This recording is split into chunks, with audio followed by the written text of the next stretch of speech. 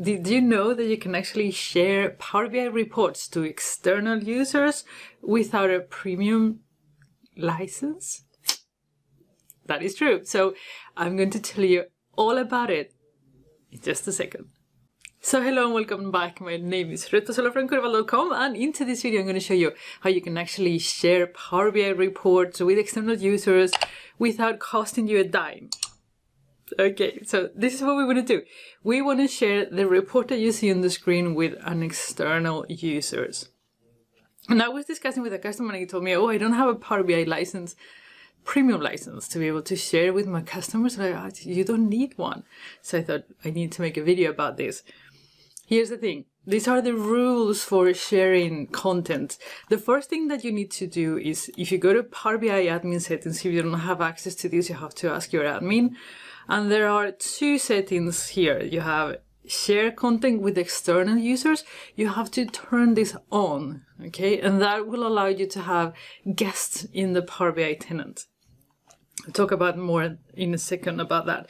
And then there is a second setting that allows external guest users to edit and manage content.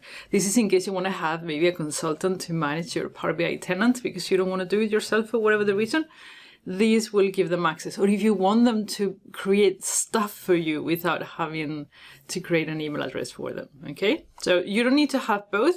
You do need to have these though, share content with external users. So there are two ways you can invite people into Power BI to view reports, dashboards, workspaces and stuff. The first one is you have as they call it, planned. And planned basically means that somebody, some admin in Azure has gone to the Azure Active Directory and added the user as a guest. And if they've done that, then you will be able to see them in a drop down as you can see internal users too. And then you can just, for example, if we want to share this report, you can just go to share. Now this is for a report. If you would like to have it for an app, for example, you would go here to update an app exactly the same way. And here you will add the external user, right? And it will appear and it will have access to whatever you give access to, right? Now, the second way is that you just go here and you give access directly to that specific user. So you don't have to go to Azure at all. Wait, wait a second, don't, don't go screaming yet. There are a few things. If we, we go here to the share content with external user, here you have the possibility to limit who can give access to external users in Power BI. And in Azure, you have the possibility also to limit which users can actually add guest users in your Azure tenant. So don't worry, it's not like everybody will be able to add users everywhere and share everything. Mm-mm-mm. You can restrict it as much as you like.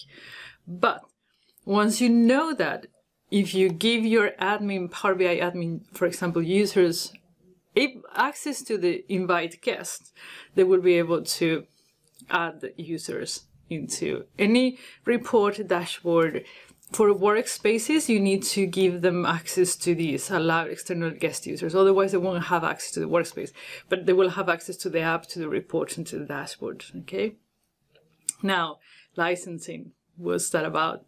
There are three licenses options for external users. The option number one is premium. If you have a premium capacity, the guest user don't need a license at all. So it will be a free user, basically. The second one is that you as an organization buy a Power BI license for that external user. You can do that. Or the third one is that the guest user already has in his or her organization a Power BI license and will use that to access your content, which is super, super cool. So those are basically the three rules for licensing. And it is as easy as that. As soon as you have somebody trusted in your organization, they can just add the email to that user and then they will be able to see the reports. Now, one thing is that the guest users won't be able to navigate your Power BI tenant. So they need to keep the link that it gets sent to them. Okay? It's very, very important. And I want to name this, mention this. If you add a user here without adding them in Azure first.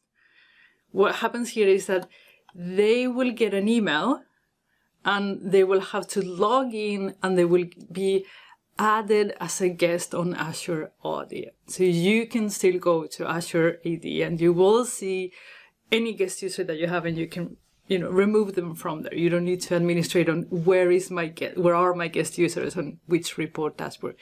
You kill them in azure and then they will disappear here in power bi last but not least let's say that your guest user leaves the organization that you gave him access to.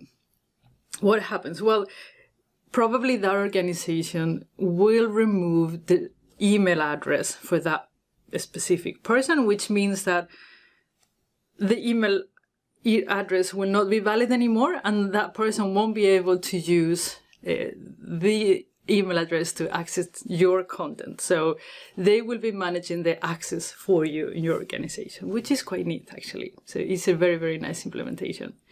So you can start sharing. It won't cost anything if that specific user already has a Power BI license or you have a premium license. Otherwise you can just buy them a Power BI Pro and you will be able to share